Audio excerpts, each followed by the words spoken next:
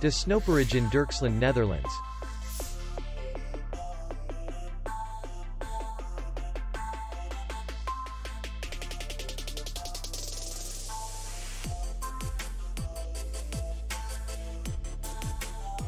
The hotel is in the city center. And distance to the airport is 33 kilometers. We welcome guests from all over the world. The hotel has comfortable rooms free Wi-Fi, and restaurant. Our clients are very satisfied.